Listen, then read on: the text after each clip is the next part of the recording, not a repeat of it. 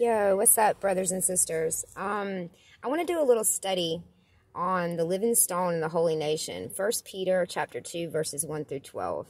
Um, I'm actually reading the um, easy to read version for you guys. I prefer the KJV, but sometimes when you're just starting out, it's good to you know kind of get get the gist of what's going on and what's being said in the word, word, and then you can get to know the King James version that to me is the best version to read, but it is a little bit harder to read and to understand. So today I'm going to read out of the easy to read version of the Bible.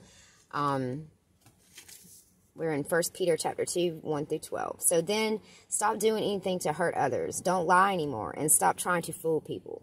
Don't be jealous or say bad things about others. Like newborn babies hunger for milk, you should want the pure teachings that feed your spirit.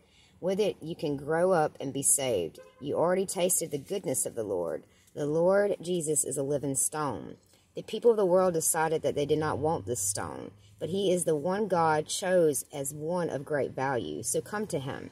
You are like living stones, and God is using you to build a spiritual house. You are to serve God in this house as holy priests, offer him spiritual sacrifices that he will accept because of Jesus Christ. The scriptures say, Look, I have chosen a cornerstone of great value, and I put that stone in Zion. Anyone entrust in him will never be disappointed. So I bring that stone.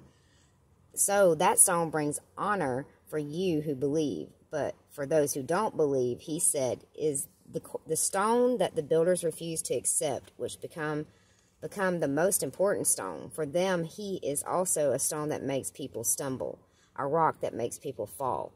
People stumble because they do not obey what God says. This is what God planned to happen to those people. But you are his chosen people, the king's priests. You are a holy nation, people who belong to God.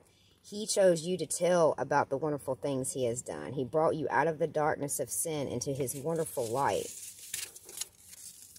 In the past, you were not a special people, but now you are God's people. Once you have not received mercy, but now God has given his mercy. Live for God. Dear friends, you are like visitors and strangers in this world, so I beg you to keep your lives free from the evil things you want to do, those desires that fight against your true selves.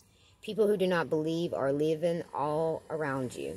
They may say that you are doing wrong. So live such good lives that they can come to see the good you do, and they will give glory to God on the day he comes.